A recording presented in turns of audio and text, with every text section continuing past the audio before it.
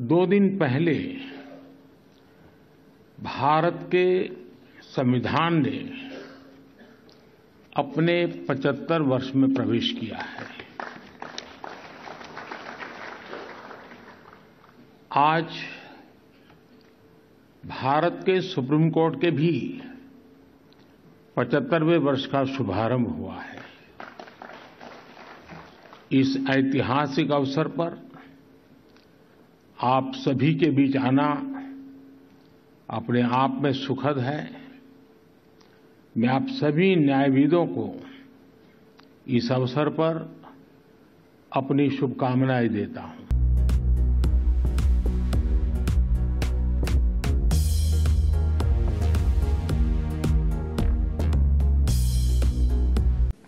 The Supreme Court was established with a sense of idealism.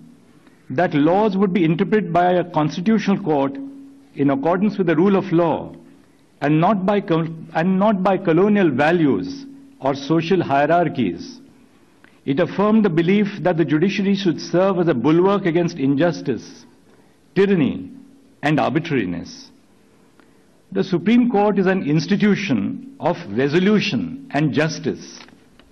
The fact that people approach it in large numbers speaks to how far we have succeeded in discharging that role.